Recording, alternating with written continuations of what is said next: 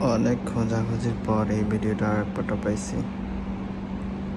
ভাবা যায়, খুব ভালো লাগে ভিডিওটা আমার কাছে।